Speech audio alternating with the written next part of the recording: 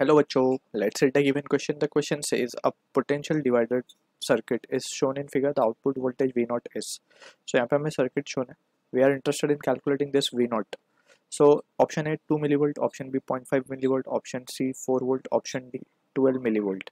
So for this question, uh, the key concept we need to understand is the concept of Ohm's law or precisely we will say the combination of resistance we will use over here Combination of resistance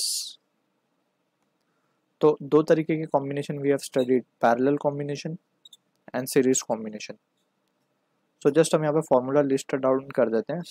parallel के लिए we use the result अगर हमारे पास बहुत सारे resistance let say R one R two R three and so on इस तरीके से पैरेलल में कनेक्टेड है तो इनका इक्वलेंट हम निकालते हैं one over R equivalent equals to one by R one plus one by R two and so on where is on the other end series के लिए we calculate the equivalent for the same uh, set of resistance as R1 plus R2 plus R3 and so on. ठीक है ना? तो ये just basic understanding के साथ we can solve the question given apart from this we will be using Ohm's law as well तो हमें सिर्फ़ ये जो पाँच रेजिस्टेंस है यहाँ पे इनके अक्रॉस पोटेंशियल या फिर वोल्टेज ढूंढना है। तो सबसे पहले तो हम इसमें सर्किट में करंट ढूंढ लेते हैं क्योंकि सारे के सारे रेजिस्टेंस सीरीज़ में लगे हुए तो current through them will be the same so by Ohm's law what we can write is by Ohm's law I will be equals to V by R equivalent अब कितने रेजिस्टेंस है ये? एक, दो, तीन, चार, पाँच छः सात, आठ।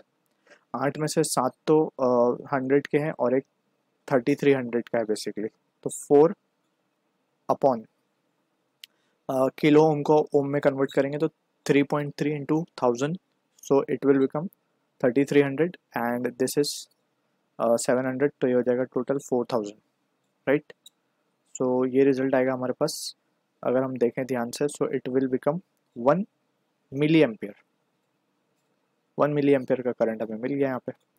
अब यहाँ पे हमें कैलकुलेट करना था potential that is now we can say V naught will be equals to simple I into R equal and dash इसको हम इनके रेजिस्टेंस को बोल रहे हैं R equal and dash so I तो मिल गया one milli ampere R equal and dash की अगर हम बात करें so it will be just five hundred ठीक है ना?